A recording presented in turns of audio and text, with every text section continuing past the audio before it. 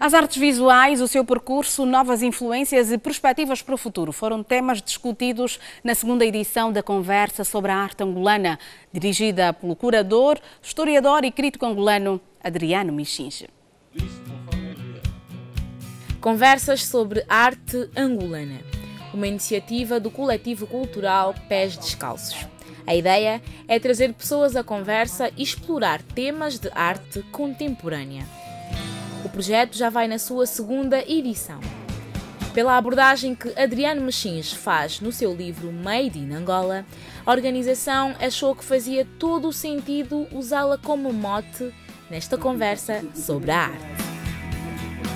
Transformamos um pouco o conceito de conversas numa mesa redonda mas mantivemos a abertura ao público, que é, que é um pouco o DNA deste, deste projeto, é, é a possibilidade de podermos uh, ouvir uh, das pessoas com quem estamos a conversar, mas também pô-las uh, à conversa com, com, com o público.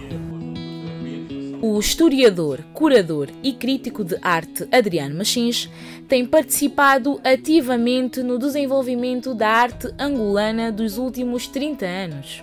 Estamos em presença de um contexto em particular em que existem no mercado angolano vários artistas e eh, a Conversa 2 serviu para, digamos, fazer um ponto de situação daquilo que são a situação do artista, a situação do sistema artístico, o funcionamento das galerias, as necessidades materiais e criativas que, do modo geral, têm os artistas plásticos. Na conversa aberta, o atual estado das artes no nosso país o trabalho dos artistas, o seu empenho, as suas criações, as exposições individuais ou coletivas a nível nacional foram fatores que Adriano Machins abordou com maior relevância. Estamos a viver um momento particular em que é verdade que há uma, eh, uma decalagem entre as produções artísticas e, eh, digamos, a maturidade das nossas instituições. Acho que eh, os artistas estão na vanguarda da, daquele que é o pensamento mais original, mais de vanguarda do nosso, das reflexões que um cidadão pode fazer sobre a sua própria realidade estética né? e, portanto, as nossas instituições precisam mais de recursos humanos, de gente formada na história da arte, na história da cultura, para depois fazermos uma análise mais cuidada daquilo que são os critérios. Né? Adão Mussungo pertence à nova geração de artistas. Diz ter assimilado o suficiente deste encontro que fortalece a classe artística. Dialogou-se aqui uma coisa muito forte que é que os artistas precisavam nos colocarmos no tempo. É verdade que há uma febre no bom sentido das artes angolanas. É verdade, estamos presentes em todos os pontos do mundo, nas grandes, nos grandes festivais. E por que, que não internamente nos organizarmos? O que aconteceu aqui, estes debates são salutares.